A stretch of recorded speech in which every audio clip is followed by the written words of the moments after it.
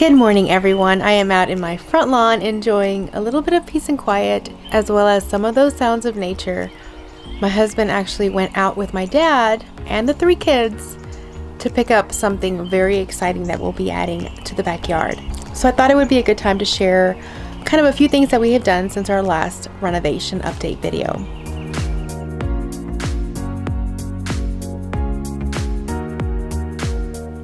We've made quite a bit of progress in the house as far as painting is concerned. As you can see behind me, I'll show you guys even better, but we have all our ceilings painted, thank goodness. We just shared a video on how to remove popcorn ceilings yourself. If you guys have not seen it, I'll go ahead and link to it. And we painted most of the first floor. Um, it was a lot of work, but we are so glad that that part is done. Now I have shared our home tour before we moved in and anything was in our house and I'll go ahead and link to that if you guys have not seen it. However, this is our main living room when you enter the front door and it's kind of been a catch-all while we've been renovating. The floors have since been removed and the popcorn ceiling has also come down. As you can see here, the window sill has been removed and we removed them from all of the windows in the house. The next step was to paint the ceilings and paint all of the walls as well as the trim. Now we went all the way down the hallway towards the kids' bedrooms and laundry room area as well.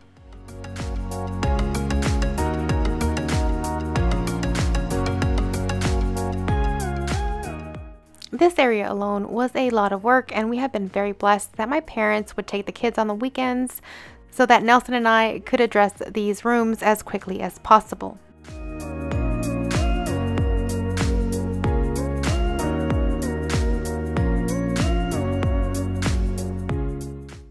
When painting our walls, we always paint two coats on them. And just a quick tip, if you have an unsightly doorbell like this one right here. Um, I've actually done this before and one thing you can do is paint it the exact same color as your walls and it tends to not be such a huge distraction.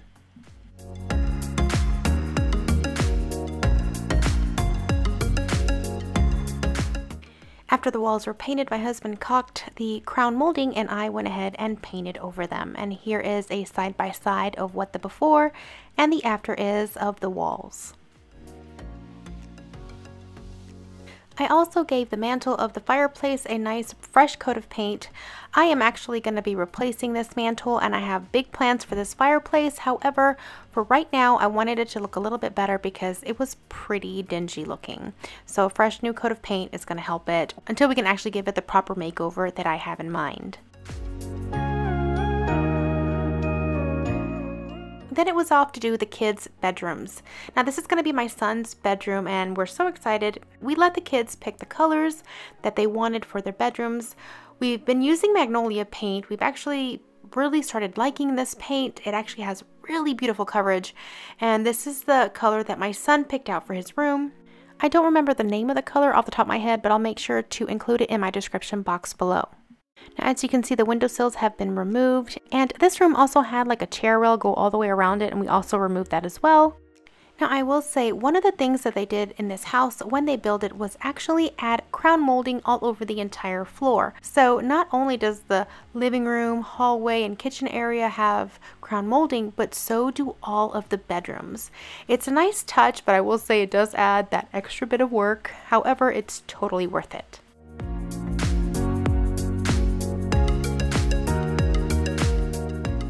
Then it was time for the girls' bedrooms. There are enough rooms in the house for each of the kids to have their own room. However, we decided to put the girls in the same room in the meantime because I will actually be using the littlest room in the house as my crafting studio until it's time for us to create my studio in the basement. My oldest wanted her pink room again, so we went ahead and gave it to her. It's another magnolia color. She had a pink room in the last house, however, it was kind of bright and a little bit too strong, so we chose something that was a little bit more subdued, but still pink. Of course, all the ceilings were painted, and then all the walls were given two coats. And I'll make sure to put the color of this paint in the description box as well.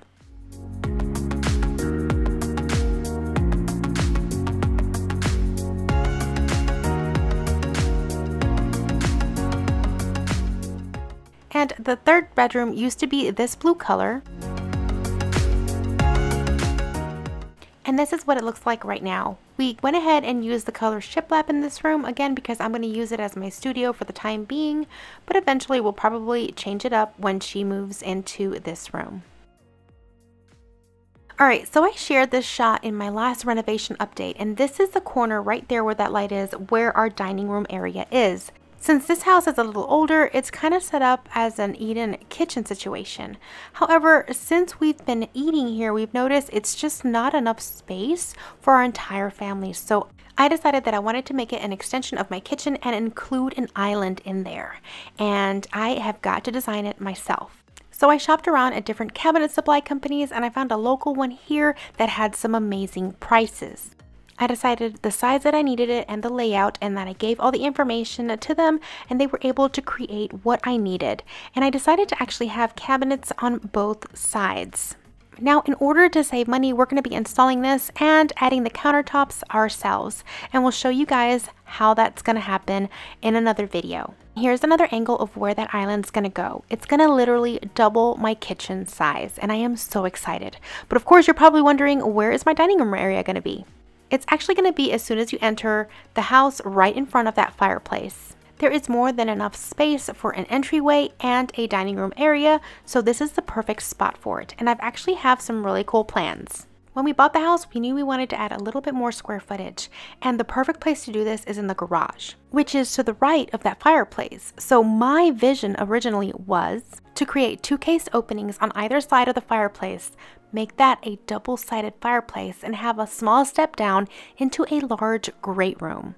We will eventually build a brand new garage for our vehicles, and while this will take a few years to do, this definitely is the big plan. So in the meantime, we'll continue to hang out in the sunroom. And speaking of sunrooms, I ordered these beautiful bamboo blinds from Home Depot and we started putting them up. However, we ended up buying two large ones to cover the four windows in the back where the main sun enters and we're going to have to be opening them up and closing them all the time. However, that was not a good idea because they're cordless and we found out that the larger blinds you get that are cordless, the more issues you have in the long run with them. So we had to actually return those. As you see, we're trying to put it up here, but it just wasn't happening. So we took those down and right now we are missing the whole side of window coverings. So it's kind of a bummer because right now I can't do anything else in the sunroom. I just have that side of blinds up and I'm waiting for the other ones to get here so we can go ahead and install it and I can move forward with the sunroom. Next, we have begun starting work on the floors. My husband had an amazing idea of using plywood as a substitute for hardwood floors. He decided that he was going to buy all this plywood and cut them down into large 8 inch planks. My dad actually came over and helped him out with this and here you see him cutting them but he wants to install this throughout the entire house, lay them down like hardwood floors, stain them, and seal them himself. And he's going to be showing you guys how to do this. This, hands down, was the most affordable option for us, and it's actually looking pretty good. I can't wait to share with you guys how that is turning out. And lastly, we have had some heavy machinery in our yard clearing up a lot of much needed brush and dead stuff that my husband and my dad already took down. So our yard is going to be looking a lot different in the next couple of weeks. And if you have been following me on Instagram, you probably already know what that machine is capable of. I am really excited about this because our yard, when we bought it, was severely overgrown and this will help. So we're back on the front porch and they're still not here. So that's actually kind of nice. I'll enjoy this quiet just a little bit longer. But that's pretty much what we've been working on these past couple weeks. And that is the progress we have made. Of course, now we have to finish those floors. We have to start adding trim. We have to finish the kitchen.